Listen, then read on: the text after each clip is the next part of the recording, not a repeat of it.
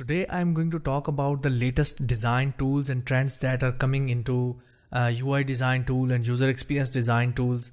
And one of them is really right now very popular, which is InVision Studio or InVision uh, by InVision app.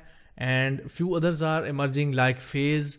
I have just seen the early access for Phase tool. Uh, I think they have uh, something similar to the workflow uh, of your design and combining the workflow and design together. Okay also InVision Studio, they have combined the animation, collaboration, uh, design versioning, all these uh, uh, these features in one uh, design tool. Okay, so you can save your documents online. You can collaborate with your team. You can uh, change the versions. So simultaneously, like 10 designers can work on a same file. So this is a lot big uh, project. I think they were uh, due in February. They were due to release their first release in February, but I think they are delaying it because they are maturing their product and they are making testing it with a lot of designers. And uh, uh, I will show you uh, the both of these two websites where you can get for early access, sign up for early access. These are two tools that are uh, that I know of that are you know coming for the UI design or user experience design purpose. So uh, let me share with you uh, what I have seen so far and you can go ahead to these websites and view what are their features and few things like that and sign up for their early access. Okay, so I'm going to switch to my uh, PC window, uh, Windows PC screen now. So let's see them. Now you can see here is my InVision Studio uh, which is the URL is invisionapp.com slash studio and you can request for early access. I have already done that. And if you want, you can view the uh, their uh, video promo of uh, you can see here on the right side and on the left side they, it is very similar to sketch app and uh, maybe adobe xd uh, i am already preparing a course on adobe xd and i think it's a pretty damn good tool for ui design uh, then we have another tool you can see over here. This is called phase. Let me go to the top. And uh, digital design reinvented and a lot of things they uh, you can see here is their uh, interface. And it also looks similar but you can see at the bottom if you look closely let me zoom in. And if you look closely at the bottom there are timelines. So it means it is going to support animations and stuff like that and uh, also you can say see that these are also integrated with javascript swift react android html custom. So you can extract your design into code into any kind of code or app like swift is for ios react i think for hybrid apps android is for uh, android apps html and custom.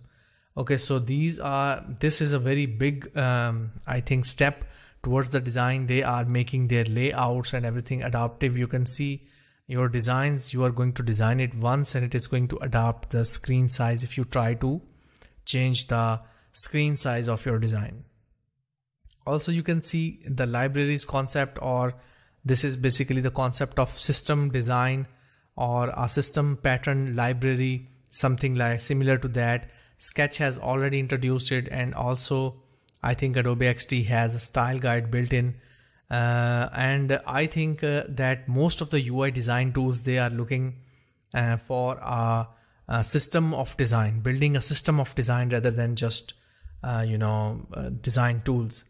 Okay, so right now I think it is a war going on between these tools, and I think I, am not sure uh, what should the designers do, but I am I guarantee one thing any designer who wants to be a good designer they should never ever depend on one tool okay?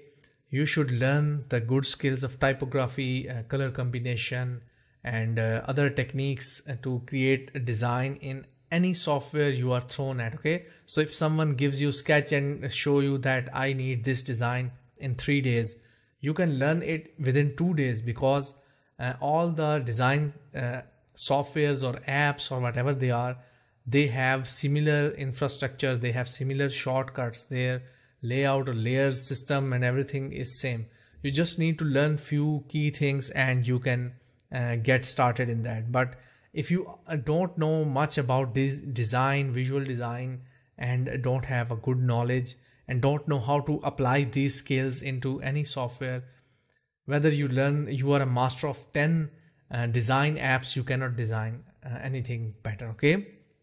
So you need to keep these tips in your mind. Don't worry about these design tools that there are hundreds of design tools coming now. Uh, you just need to learn uh, to design better that's all. Okay so i hope you have enjoyed this video. Uh, if you uh, like this video uh, you can comment below what you liked and where you would like to sign up there is one more uh, page you can see over here. This is the 2007 survey of user experience tools and you can see these are the winners InVision and Sketch, Pencil and Paper, Google Drive and Hot, Hotjar for monitoring your website or users. And uh, the runner ups were Adobe, Adobe Photoshop and Adobe XD and Figma I guess. If I can show you you can see over here. Let me go down a bit pencil paper sketch illustrator photoshop adobe xd figma Balsamiq, Axure and others okay so there are different categories for wireframing the number one was sketch illustrator html css Balsamiq. and uh, for interface design tools sketch was at the top photoshop second Illustrator, Adobe XD, Figma. So these are the five uh, top tools. You can choose any one and you can design beautiful interfaces in any of them. And uh, on Windows operating system, Photoshop is still winning because Sketch is not there for Windows users. And I think the next in next few years, maybe one or two, Adobe XD or maybe InVision app if they launch it well because it is for Windows and Mac both uh, it will win. Okay so let's see what where this uh, design war will end.